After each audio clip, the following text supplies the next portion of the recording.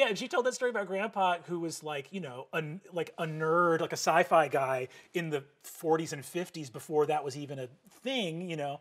And she would, she would, you know, at one point after going to a couple, she was like, she was seeing this like B movie, 1950, you know, Monster of the Week kind The of cigar-shaped rocket on the string on the bouncing string. along. Yeah, exactly. and at one point, I guess after a couple dates, she felt comfortable enough with Grandpa to be like, Frank, th- these movies are awful. and Grandpa's response apparently was, you know, I know they're awful, but they're gonna get better if we keep going. And unfortunately, he died even before 2001 came out, which is really sad. But he was that's right. yeah, he was absolutely right about that. They did get better, a lot better.